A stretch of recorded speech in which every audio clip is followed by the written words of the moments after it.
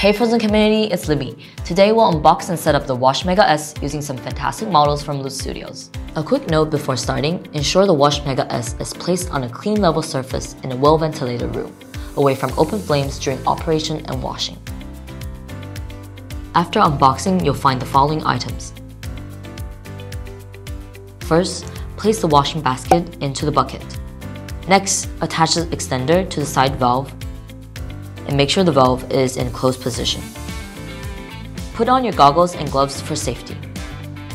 Pour enough 95% alcohol or washing solution into the bucket. Make sure the unit is placed in a dry, clean environment free from any spilled liquid. Then, plug in the power cable and switch the unit on. Place the models you removed from the building plate into the basket, then lower the basket into the bucket to begin the wash. Alternatively, you can use the appropriate basket holder based on your plate size to clean the model directly on the plate. Be sure to keep the lid closed while cleaning the models. Next, use the dial to set the wash speed and time.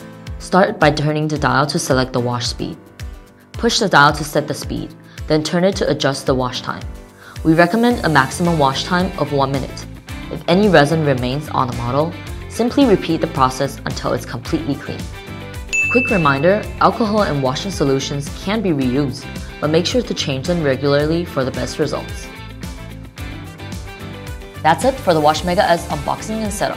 Hope you find this video helpful and be sure to let us know if you have any questions in the comment section. Remember to like, subscribe, share, and turn on the notification for more exciting news from Phrozen. I'll see you next time. Bye!